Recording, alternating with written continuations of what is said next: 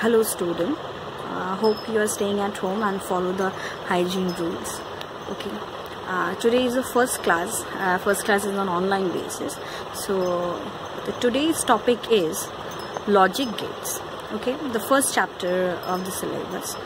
So now we will see uh, how we can uh, explain the logic gates. Today's topic is logic gates. So first we have to understand that what is logic gate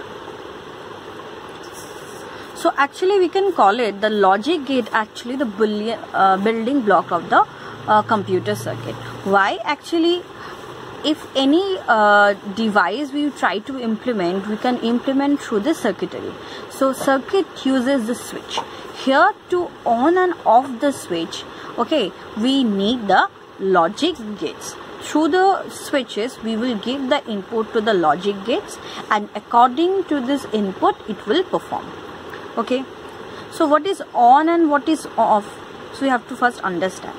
Okay? In boolean algebra we have learned that that computer only understand the binary information that is 0 and 1 okay? If you are switching on then what information you are giving to the computer circuit? You are giving that the information is in the form of 1 if you switch on then it will travels the information as 1 if you are giving uh, the if you try to give the zero that is you have to press the switch off.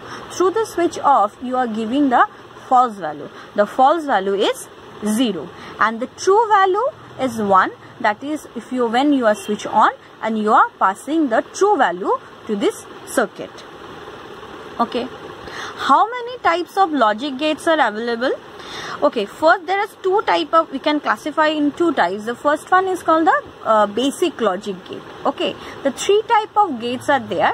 That is called the basic logic gates. That is first one is not and or. These three gates are called the basic logic gates. Now the next one is NAND and NOR is there. NAND gate and NOR gate are called the universal gate so why the NAND and NOR gate are called the universal gate? We will explain it in the lecture. Okay. So other two gates are there that is uh, XOR gate and XNOR gate. So depending upon the um, OR gate implementation we can implement it. Okay. We need to take the help of the OR gate to define or implement the XOR gate or exclusive XOR gate this actually the few uh, symbols of the gate okay? When we elaborately explain the gates you will come to know the which symbol is belong to which gate. So before the discussion of the explanation of the table uh, of the gates first we have to understand what is truth table. Truth table actually is a convenient way to visualize visualizing the output. What output? Whatever input you are giving to the circuit depending upon it what output they will generate. Okay? So visualizing in a convenient way so that we can understand that we are giving this input depending upon the this input the circuit will work like this. So this is actually called truth table. Okay? Through this truth table we will uh, check the condition. If it is true whatever condition we are giving it is true or it is false now come to the first gate. The first gate is called NOT gate. Okay, it is a single input gate. It means that uh, through this gate only we can pass only one single input. Okay, and it is the most simplest logic gate. Okay, so it will take either on value or either off value. On value means what on and zero value means what off. So see this picture? This is the logical diagram of the NOT gate. If you are giving 1 then it will give you the value 0 if you are giving the value 0 so it will give you the value as 1 so whatever input you are giving it will just give you the opposite value. So that's why this gate is called the inverter gate. Now comes to the truth table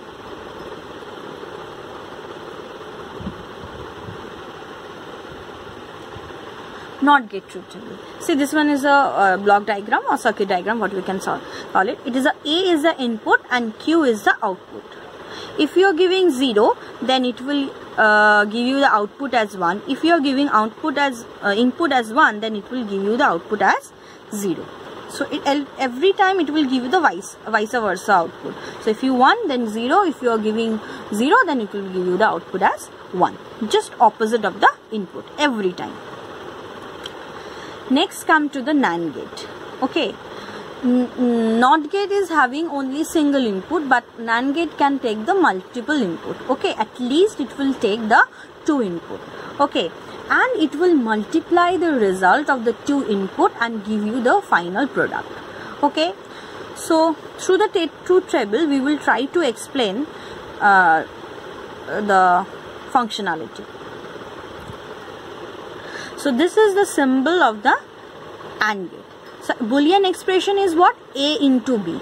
So a in the a input whatever value is given that must be multiplied with the b inputs value. Okay? So say b and 1 we have written. 0 into 0 will provide you what? 0 into 0 means 0 0 into 1 is always 0 1 into 0 is 0 and 1 into 1 is 1 so each and every cases this follows the multiplication rules. Next come to the OR gate. OR gate is also having the two inputs gate but it will not multiply the input it will add the input. So for that reason only if you if any one value in case of b or in case of 1 if any uh, input is 1 so it will give you the true value. What is the true value? Is 1 okay? So this is actually the logical symbol or block diagram of a OR gate so if you are giving 1 in a value or b value then you will give the value as 1 if you are in both the places if you are giving 0 then it will you will give you 0 value. If both the places you are giving 1 then 1 value. For any of the one input you are getting the value as 1 So truth table is what? If you are giving 0, 0 plus 1 is, 0 plus 0 is 0. 0 plus 1 is 1, 0 plus 1 is 1, 1 plus 0 is 1 and 1 plus 1 is what? 1 0. You know that is 1 0 but here in the truth table we will show only the 1. 0 carry we will not show over here. Okay.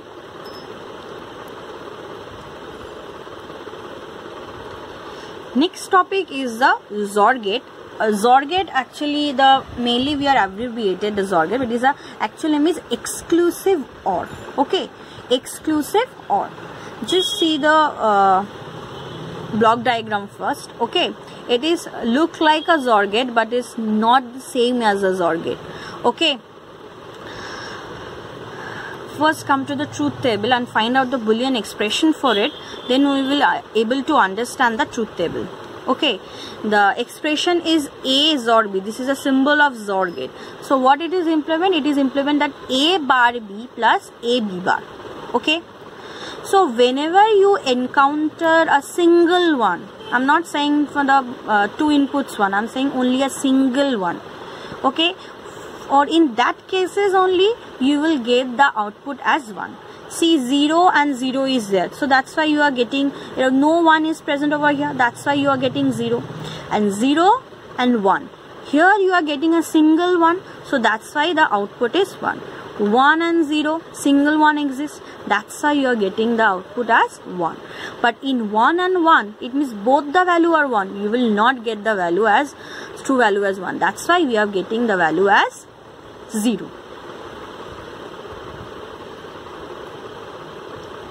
Next is XNOR gate. It is called the exclusive NOR gate. So, uh, it is just the boolean expression is just the opposite of this opposite of this means the XOR gates having the expression it is a XOR b or a plus a a bar b plus uh, a b bar but here we have to use another inverter inverter in NOT gate so we will find out the complement of the XOR gate. So complement of the XOR gate is called the X XNOR gate. See this is the XOR gate. This up to this is a XOR gate symbol. Here bubble formation is there. This bubble it shows the implementation of NOT gate so that's why it will be it will become XNOR gate Let's come to the truth table. Okay. Whenever in the in the input both the value are same. Whenever in the input both the value are same. We will get the output as 1 so see 0 0 both the input value are same. So that's why we are getting the value as 1 0 1 only single value is there. 0 and 1 component so that's why we are getting 0 1 and 0 0 but here 1 and 1 both the value are same. So that's why we are getting in the output as 1